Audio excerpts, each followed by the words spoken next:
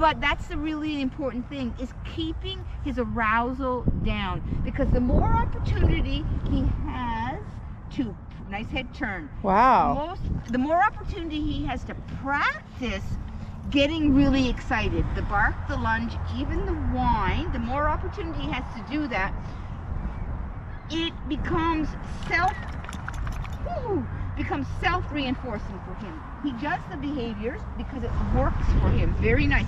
Look at him picking up his own leading. Wow, yeah. He had a little look there. You saw that, didn't you? Yeah. And he he chose to lead. Now he circled back around. I'll come back to the find in a minute. So if you are out for a walk and you see another dog coming towards you because you've already said that that can be trouble for him, right? So you're going to ideally slow him down or stop long before. So if he sees that other dog, he probably stops. Yeah. Don't keep pushing forward.